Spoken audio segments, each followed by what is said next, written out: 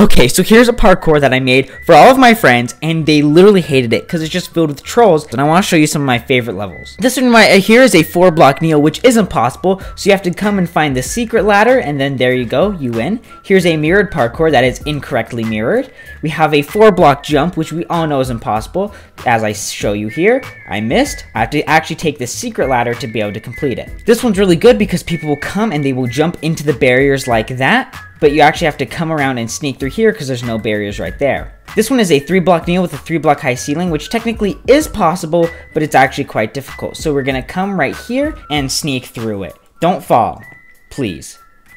this last one looks like a simple jump, but it's barriers. It's literally all barriers. So you actually have to come through the secret tunnel I made through the barriers so you can complete this level.